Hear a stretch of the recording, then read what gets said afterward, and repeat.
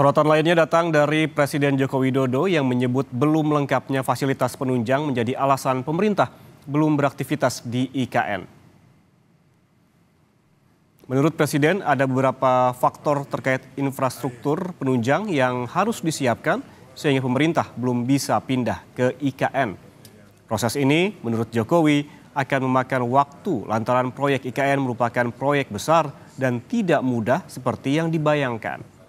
Namun, Jokowi juga menyebut tiga hingga empat hari ke depan akan menuju IKN dan berkantor di sana.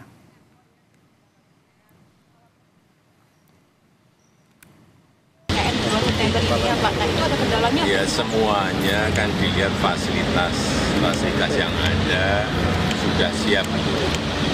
Memang sebagian sudah siap, tetapi sebagian juga belum. Saya kira kita pindah itu kalau betul-betul siap saya ini juga sama. Pindah betul-betul memang harus siap betul. Tapi kan kita terus ke sana tiga hari, empat hari untuk terus mengkonsolidasi dengan Pak Kepala Otorita IKN agar apa yang sudah kita rencanakan sesuai dengan target yang ditentukan. Sebelumnya, Kepala Sekretariat Presiden Heru Budi Hartono juga memastikan Presiden Joko Widodo akan berkantor di Ibu Kota Nusantara hingga menjelang pelantikan Presiden terpilih pada 20 Oktober 2024 mendatang.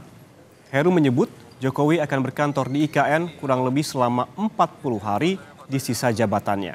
Sejak tanggal 10 September 2024 hingga 19 Oktober 2024 mendatang.